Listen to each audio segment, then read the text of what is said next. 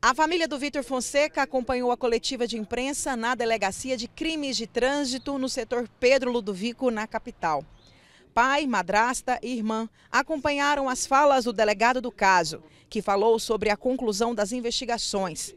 Mais de 20 pessoas foram ouvidas e uma perícia foi feita na Avenida T9, onde aconteceu o acidente.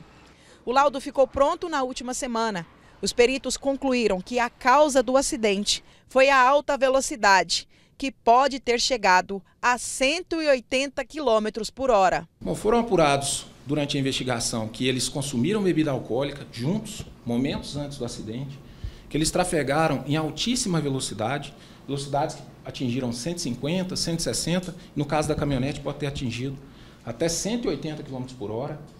E eles trafegar em altíssima velocidade em disputa de racha.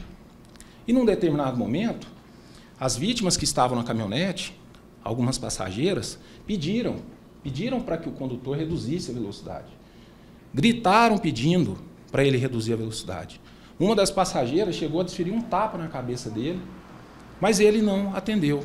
De acordo com os depoimentos, ele limitou-se a olhar para trás e sorrir demonstrando indiferença insensibilidade ao desespero das vítimas. Então, nós entendemos que esses elementos, essas circunstâncias objetivas, demonstram que eles agiram com dolo eventual, que eles assumiram o risco de causar um acidente com resultado morte.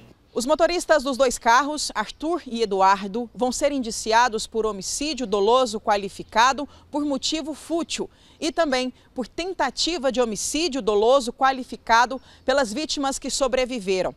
O pai do Eduardo, a mãe do Arthur e a amiga que emprestou a carteira de identidade para que a Marcela pudesse entrar na boate também vão ser indiciados. A genitora do condutor da BMW pela prática do crime previsto no artigo 310 do Código de Trânsito, que é ceder, confiar veículo automotor à pessoa não habilitada.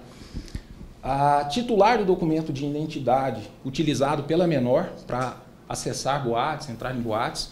No caso, ela responderá pelo artigo 308 do Código Penal, uma vez que ela cedeu, veículo, cedeu o documento de identidade para outra pessoa, para que essa pessoa fizesse uso. E, por fim, o genitor do condutor da caminhonete, o pai do condutor da caminhonete, que, conforme narrado pelos bombeiros militares, chegou ao local do acidente e pediu para um dos bombeiros retirar o nome do filho dele da ocorrência do trânsito, do relatório da ocorrência que seria é, confeccionado pelos bombeiros. Como os envolvidos estão ajudando na investigação, eles vão cumprir pena em liberdade. O que não agradou o pai do Vitor, o jovem de 20 anos que morreu no Hugo três dias depois do acidente. A família agora segue ainda mais unida, buscando por justiça. Eu creio que os demais processos, eu sei que eles não vão ofuscar o trabalho do delegado, né? eu tenho certeza que foi um trabalho magnífico.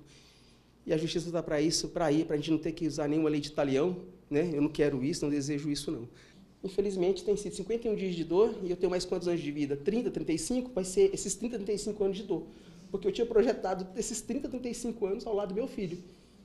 E eu não vou ter mais.